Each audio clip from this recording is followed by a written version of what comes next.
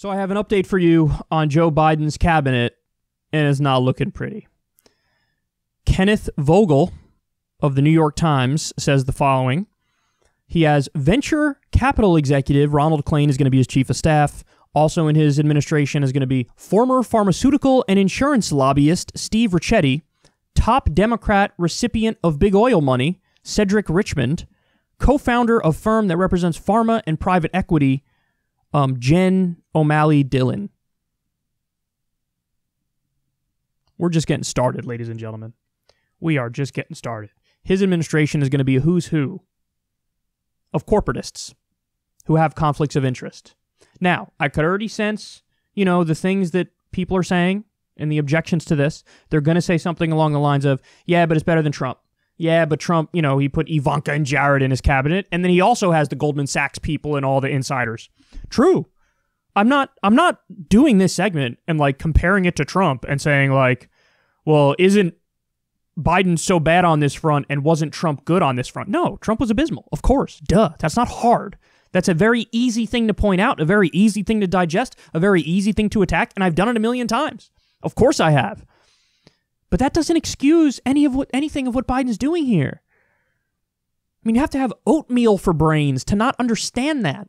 And unfortunately, a lot of the responses to this tweet were, oh my God, disgusting. I wanted to shower after I read them. When my team does corruption, it's okay. Because better than Trump. Better than Trump. Better than Trump. There should be zero lobbyists in the administration, zero people with conflicts of interest zero corrupt corporatists in the administration. Instead, he's going to pack his administration full of them. Now, listen, I hate to do this, but I kind of don't. All the people who are like, we're going to push him left. Hold your L, dog. I told you that wasn't going to happen. Listen, that that says nothing about how you should have voted. Okay?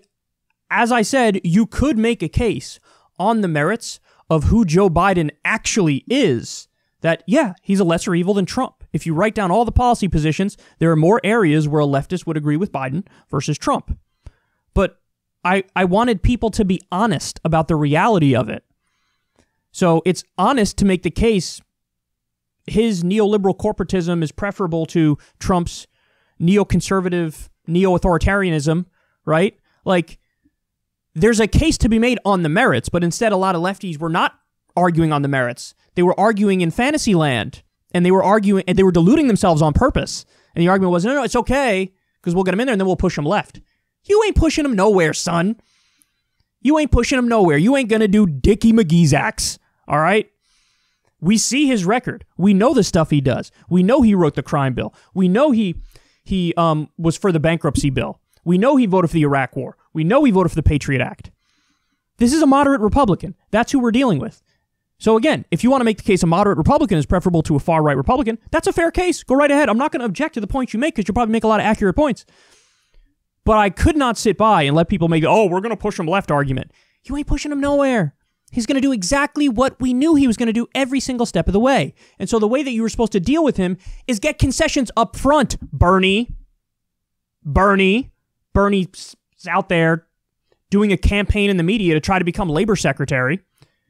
You could have gotten that as a guarantee in a meeting with Biden before you dropped out. Hey, Joe, I want to drop out and I want to help you and I want to campaign for you and I want to make sure my 30% block of the party is 100% on board with you. But maybe I just sit on the sidelines and you're on your own and I don't campaign and try to get my 30% block on your side. If you don't reach, if you don't give me this list of demands, Here's my 10 executive orders. Here's the position I want.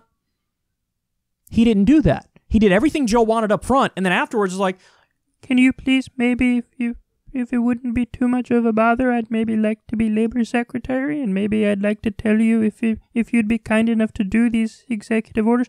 You had to get it up. He would have made a deal. He would have made a deal. Now, he wouldn't have given you 10 of 10 executive orders. Maybe he'd give you 5 of the 10. Maybe he'd just give you 3 of the 10. Maybe he'd be the biggest dick on the planet and only give you 2 of the 10. But that's still two tangible things you could go to the Democratic, your base, and say, look, look what I got. Look what I got. Also, by the way, maybe I have a position in the administration. You know, maybe I negotiated a position in the administration for myself because who you who's on your staff is actually just as important, if not more important than policy, because it's an indication of the kind of arguments that you know they're going to have behind the scenes, and then you know there's a chance for a left wing argument to win if a left winger's in the room and if a left winger is in a position of power and authority. Instead, you got no concessions. You deluded yourself. We're going to push them left. And now you got this. Congratulations. Congratulations. I'm putting the cart before the horse and doing this exactly backwards. Exactly backwards. Give him everything he wants and then hope later on he does the right. What? What? Here you go. Here you go. Venture capital executives, pharmaceutical and insurance lobbyists, big oil money recipients. I can't, man. I can't. It drives me crazy. It drives me crazy. We're at a point in history which is crying out, screaming out for a new FDR. We need a new New Deal. Instead, what we got is business as usual. We got Barack Obama 2.0, or we got Bill Clinton 3.0, because Barack Obama was Bill Clinton 2.0. We got neoliberal corporatism, third way politics, triangulation at a time where we need a social democratic flamethrower like FDR who's going to crack skulls and take no shit. This is an indication of what he's going to do as president, just so you know. So listen, I said it before, I'll say it again. His first day or his first week will be the best, where he'll do executive orders that are decent, that are good, get us back in the Paris Climate Agreement, things of that nature. Reverse the things that Trump did when Trump deregulated. So bring back regulations for coal plants, for example, clean up the water supply. There's good stuff that's going to happen in the first day or week. After that, buckle up. Because these guys are just itching to work with Republicans and make deals and give them what they want and then pretend.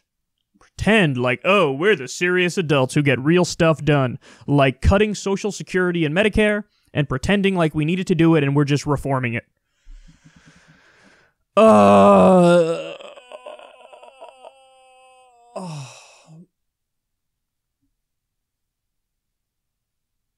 Pain is all I know.